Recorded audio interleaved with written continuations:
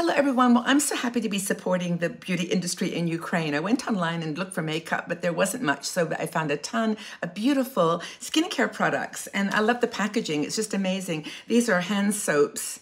Aren't they gorgeous? I'll show you the other one. They're just fantastic. And of course, they're all in Ukrainian, so I can't give you an exact detail without looking it all up. But this is a, a hand soap from olive, olive oil. And this is a cream for your um, legs and feet for varicose veins to check that one out. This is a little coconut oil container. This is a, um, um, a hand cream made out of um, sea buckthorn or with sea buckthorn. Isn't that pretty? And I've got some bath, this is bath pearls made with, um, I think it's coconut and uh, freesia. Freesia and coconut. And then this one is bath oils made out of patchouli and, um, what is it, patchouli and lychee. Very cool.